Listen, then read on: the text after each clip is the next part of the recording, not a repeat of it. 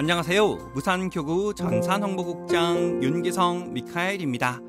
프란치스코 교황의 세 번째 회칙 모든 형제들 1장에서 우리 사회의 일그러진 얼굴들을 다루고 있는데요.